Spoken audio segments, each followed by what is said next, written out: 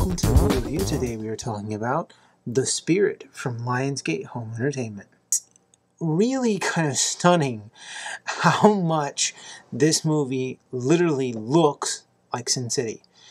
Unfortunately, it doesn't really feel the same. It feels like one of those early 90s comic book adaptations where everyone thought that they should be comical, but they hired a bunch of actors who were really shitty, and you didn't really know whether you should laugh or you weren't supposed to laugh. It's a hodgepodge of crappy film noir um, and weird kind of comedy. And you're sitting there going, I don't know if that's supposed to be funny. It is the epitome of style over substance, of a director not really knowing what they were doing, but creating something that looks stylish. The woman who played the cop in this movie, she, she was like the, the cop, was so horrible. But it's one of those things where you're like, is she, she doing that intentionally or is she just really bad?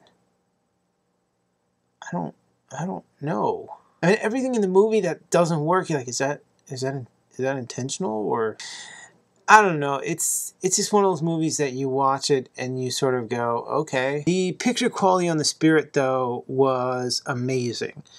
Um, it's definitely a five star. It's a clean, clear transfer. Uh, they did pack it with a DTS HD master audio, so you, you know the sound was really great. The music was was really cool. Really, the music was the best part of this disc. It's a interesting movie. I don't know how I feel about it.